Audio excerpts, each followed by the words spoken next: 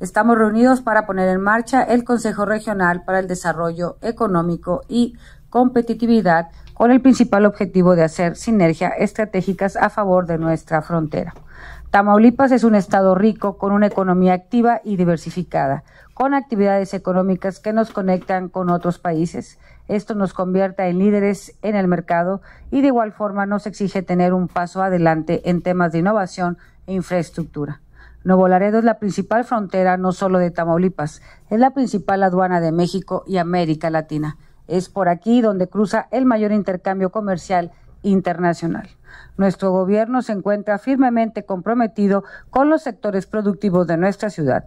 Hemos hecho estrategias que nos han impulsado a crear proyectos para detonar nuestra economía y aprovechar 100% cada una de las ventajas de ser la frontera con mejor ubicación geográfica.